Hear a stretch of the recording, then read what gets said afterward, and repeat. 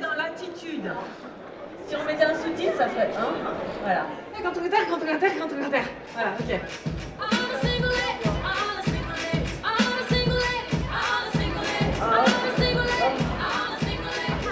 Vous savez, Beyoncé n'a jamais dansé devant un parterre clairsemé, il y avait toujours des gens. Hein